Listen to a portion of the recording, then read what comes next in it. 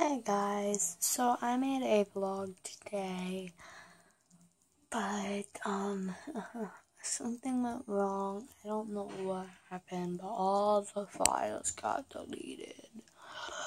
So yeah, sorry about that. Tomorrow will be the 53rd vlog because today's vlog didn't upload. But Um, yeah, so sorry about that. But I will see you guys tomorrow.